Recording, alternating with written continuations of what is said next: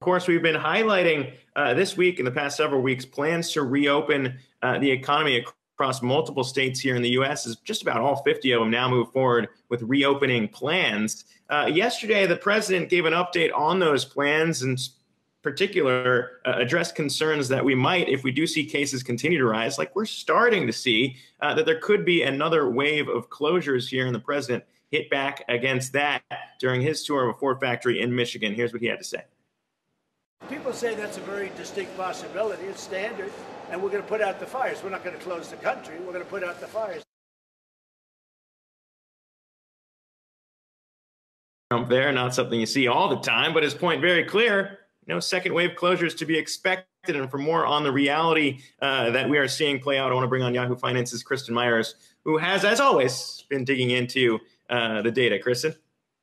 I'm like becoming the reopening reporter, Zack. Actually, the president, in after saying that very brief statement there, said, "quote Whether it's an ember or a flame, we're going to put it out, but we're not."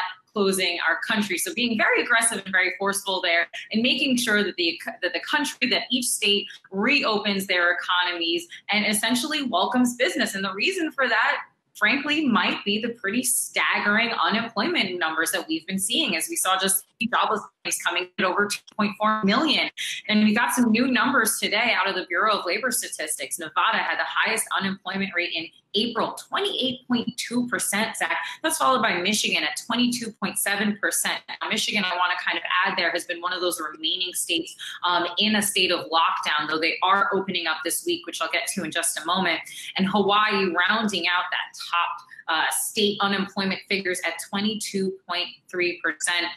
According to BLS, the rate in 43 states set record highs, which is incredible. And as we've been discussing this week, last week, the week before, essentially states have been slammed across the country because of these lockdown orders. So now it's the holiday weekend. We're starting to see all 50 states are moving into some sort of phase of reopening.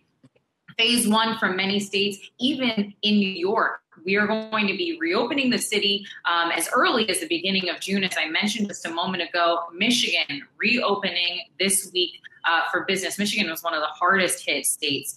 Um, Dr. Fauci, even the director of the NIAID, who's kind of been the leading medical voice in this coronavirus crisis, said that now is the time to reopen the economy. And as I mentioned, New York, great news there. They're also reopening. Uh, Governor Cuomo saying that the cases are now lower at the beginning, uh, or now lower, are lower now, excuse me, than at the beginning of this crisis. And I want to kind of, you know, put this into context again, the numbers for everyone. Here in the United States, we've got almost 1.6 million positive cases, death rate about 95 thousand. But I want to kind of take everyone's attention to a very important graph, a very important metric, as you were saying, that governors might be using, and that's the rate of positive cases. And we are seeing that number trend downward. So obviously, we're seeing those numbers of cases continue to increase because the test, uh, the testing is starting to increase. But that rate, if you divide that number out, the amount of positive cases as a part of the total is on the decline, which is incredibly good news. And part of the reason, combined with you know the economy, I think Zack, that's really why you are starting to see a lot of governments and a lot of states being comfortable here with reopening, even ahead of this pretty big holiday weekend, where we might see some numbers start to spike. Couple of days, we'll have to check that out. But so so far, it looks like pretty good news uh, just across the country when it comes to the cases.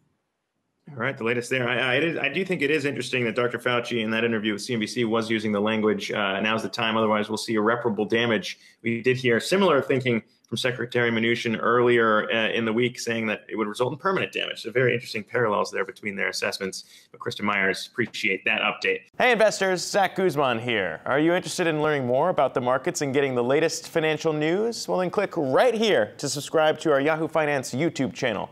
Get the latest up-to-the-minute market analysis, big interviews in the world of finance, and information on how to manage your money every day wherever you are.